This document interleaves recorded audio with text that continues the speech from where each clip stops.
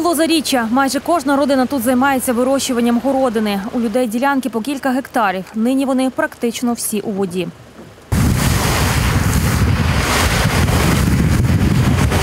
Теплиці повністю підтоплені. Десь вода виливається і на дорогу, що сполучає виноградів з трасою Мукачево-Роготин. Однак проїзд для авто відкритий. Вода хоч і поступово, та йде на спад.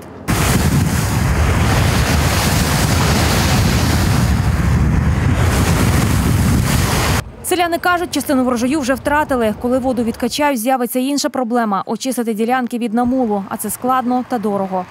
Я не можу зараз оприділити, які затрати, але затрати будуть великі, зерна не буде і е, будуть е, то проблеми із уборкою. Плюнки всі у воді.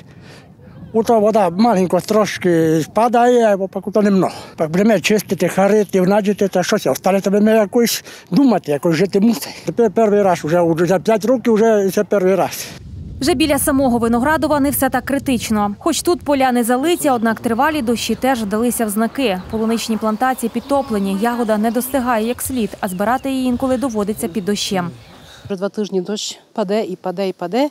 У рядках вода стоїть постійно. Збирати дуже важко людям у плащах працюють. Відкачуємо воду постійно, кожен день вечором, бо у рядках стоїть вода.